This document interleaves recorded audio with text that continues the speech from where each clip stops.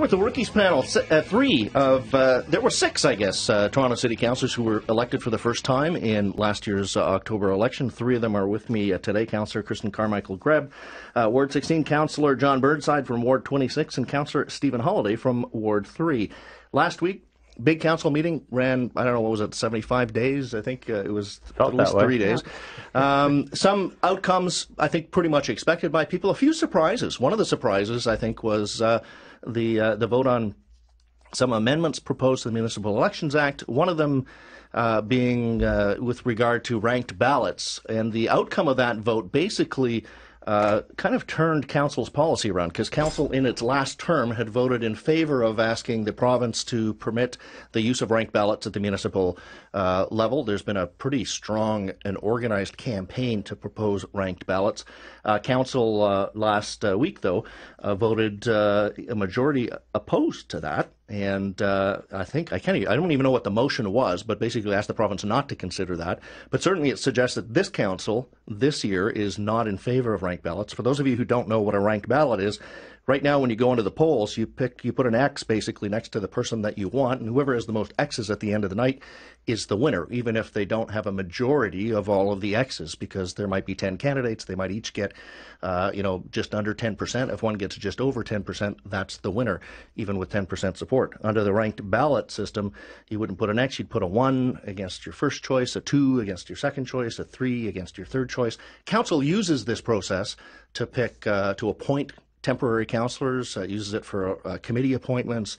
Uh, all of the political parties use the same process to pick their leaders uh, so that uh, the people who have the least support drop off and their votes are redistributed to the second choice, etc., until somebody in theory has more than uh, 50%. Why do you think council's uh, approach to this change, John? Is it is something fundamentally changed, or is it just a new group of people with new opinions? Well, well, there's that, but I, I was uh, I noted in a newspaper article there were I think about eight or nine counselors who changed their opinion, and so I can't comment on why they did that. For me, it was it was um, really a matter of you've had to explain it here on air, and you've done a good job, but it is a little more complicated. Well, it's a lot more complicated than just putting one X down. So there's the complicate uh, complication factor, and uh, you know a lot of times when I was knocking on doors, people didn't know if I was federal, provincial. They didn't even know the difference. And then more importantly, or just as importantly, um, if if this is the way to go, the province needs to do it first, and and then you know we're a creation of the province and then they can just uh, mandate it for us. There's going to need to be an education campaign. So just Toronto doing it on its own it wasn't something that uh, I could support. So you think voters are not ready for it, and it's too complicated for them? Uh, yeah. Uh, yeah, I, I really do. I mean, there are a lot of people that obviously are passionate about it, but I think given that it's city politics, there are a lot of people that uh, are there's a lot of apathy out there, and um, I say I think we need the province to to take the lead, and then uh, we can uh, we can go along with it from Stephen, you're nodding. You also voted against it. Was that the same reason? Well, uh, to be clear, I voted for the the new uh, resolution which quashed it, Okay. and I think those councillors made the right choice.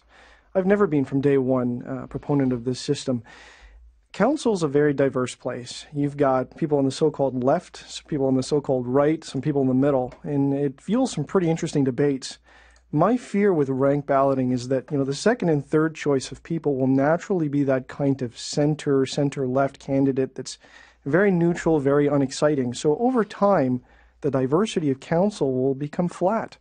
And I don't think that bodes well for good public policy. You've got to get us into that crucible and have us fight out the public policy so that you've got a product at the end of the day. And, and having a very boring group of people is not going to be very healthy for the city in the long run. One of the advantages that uh, advocates of ranked ballots put forward is that it would, in theory, they argue, make it easier to get rid of incumbents.